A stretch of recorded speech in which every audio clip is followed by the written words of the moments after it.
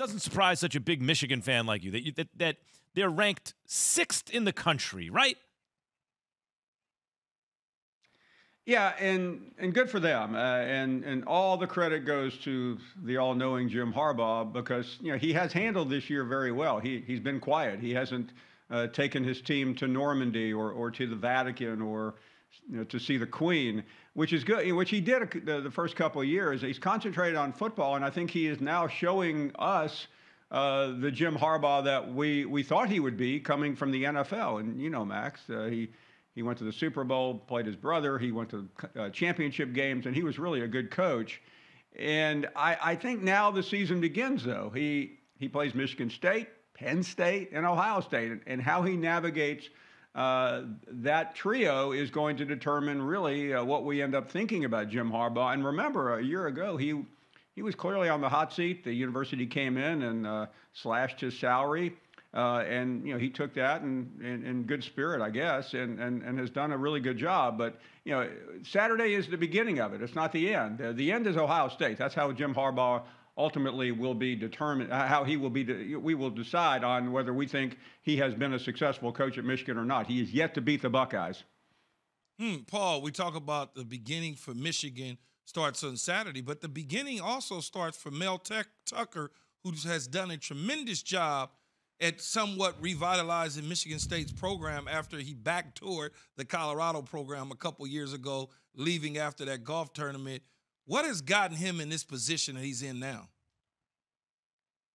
Well, I think he, he's taken advantage, uh, like Michigan, of, of, a reasonably, I wouldn't call it an easy schedule, Keyshawn, but a, but a palatable schedule, and, he, he's made the most out of it.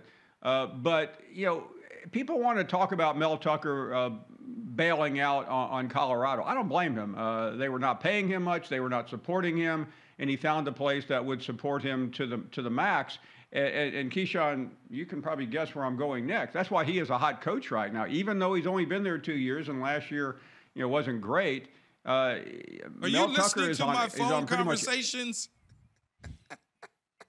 I, I, was, as a matter of fact. Uh, I, I, hate to have to admit this uh, that, that I've got a that I've got a uh, NSA tap on your line. But and by the way, that was the tamest of the conversations that you had yesterday, Keyshawn. Oh, God. Sneaky Paul. Hey, Paul, Alabama jumped over both Oklahoma and Cincinnati in the AP polls this week. How important will it be for Oklahoma and Cincy's playoff hopes that their wins are more convincing heading down the stretch of the season? Jay, well, I, I, think it's more important for, for Cincinnati to, to have style points than Oklahoma. Oklahoma plays in the Big 12, and, and, and they have you know been in every game. I mean, when they're, when they're trailing Kansas, I mean, Kansas is a, is, is a joke and uh, and we're talking football here, Jay Will, and and the idea that that they, that they would uh, you know be in a game on the road in Lawrence it was unbelievable. But Cincinnati was terrible the other day. They they they, they got out. Uh, maybe with a win, but I, I walked away not feeling very good about Cincinnati. And I've had them, you know, number two in the country a couple weeks ago, but I, am getting very skittish on them, and and they need to they need to perform uh, because you know, they can't sell us on, on beating SMU and you know, getting Houston later on. Uh, that's not going to impress the country, and, and it may not impress this uh, committee that starts meeting this coming weekend. So I think they're vulnerable, and especially because you have teams like Ohio State playing so well right now with one loss. You have other teams that could be uh, knocking on the door with one loss. So, you know, Cincinnati better watch out. When you start misleading people, it's Max. it's hard to keep up with the truth. I mean, you know, he. I mean, I would love to see uh, him strapped up to a lie detector test as that answer starts. Can you imagine? It would look like you're having a coronary. Well, Paul, what what what, what would have been the right way you would have liked to hear him answer that question if he were open to it? Like, you know, we talk about, hey, Mike well, Tomlin was very declarative, right? Like, yeah, the best way to say is, listen, I've already answered that. Even if you haven't answered the question, uh, just say you. Ha- I mean, he he addressed this a couple of weeks ago with with with another uh, another speech. Uh, you just don't. You don't. You just all you. The best answer is, I appreciate it. I respect your your question. I answered it four or five weeks ago. I'm getting ready, and then look down to make sure you know who you're playing on Saturday. Uh, Paul, when when we talk about James Franklin we've, in particular at USC, we've hired three different head coaches since his tenure at Penn State, and every single year his name keeps coming up, whatever with job openings. What's the better job for him?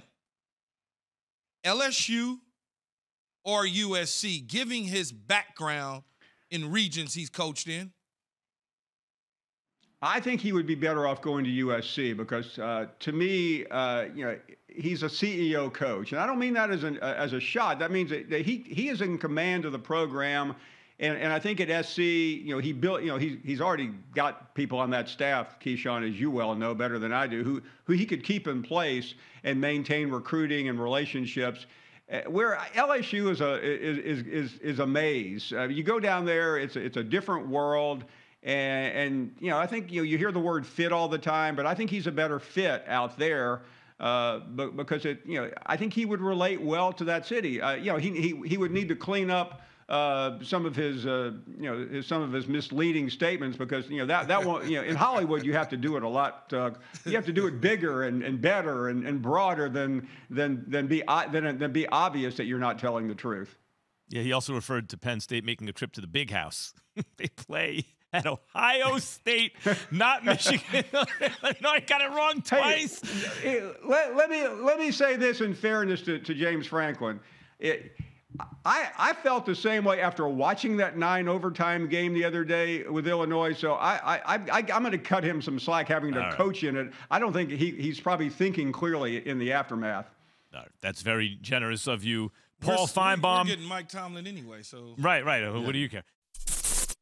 Thanks for watching ESPN on YouTube. For live streaming sports and premium content, subscribe to ESPN Plus.